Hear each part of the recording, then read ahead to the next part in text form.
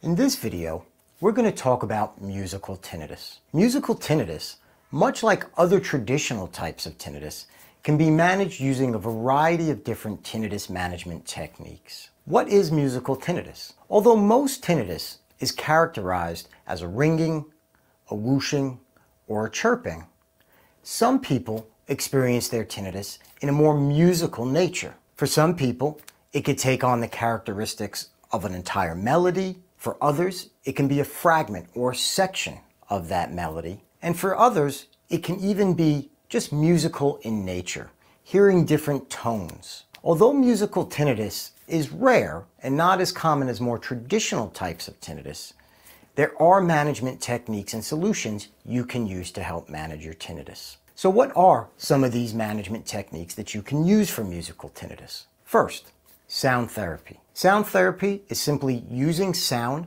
to help distract and refocus the brain to not focus on the disruptive sound of tinnitus. Oftentimes, these are soothing or relaxing sounds to help reduce any stress or anxiety that you may be feeling. Guided relaxation exercises or other stress and anxiety management techniques, such as deep breathing or mindfulness, which is all about being present in the moment in a non judgmental fashion. More clinical approaches are things like TRT, tinnitus retraining therapy, which provides a combination of sound therapy and counseling to help you navigate through your tinnitus journey. Another clinical treatment is PTM, Progressive Tinnitus Management.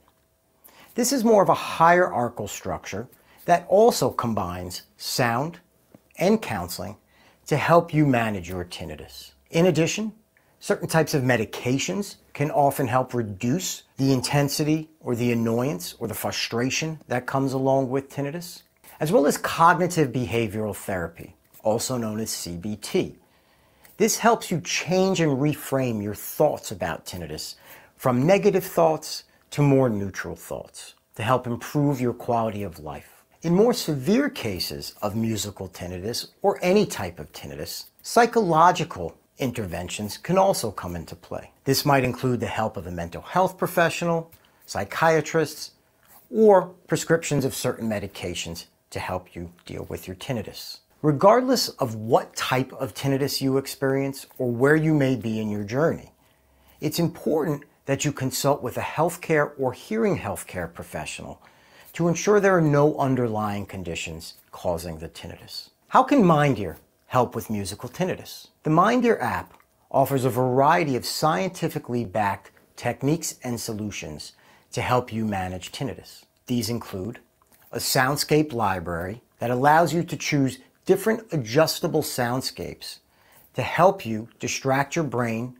and refocus your attention on other things than the tinnitus. There's also an educational catalog that offers you a variety of different learning exercises, as well as stress and anxiety exercises that'll help you manage your tinnitus throughout your journey. Wherever you are in your journey, the Mind MindEar app can help. It's a great companion to take on the go to give you the comfort you need to know that there's always something there to support you through this journey. To find out more, visit us at mindear.com.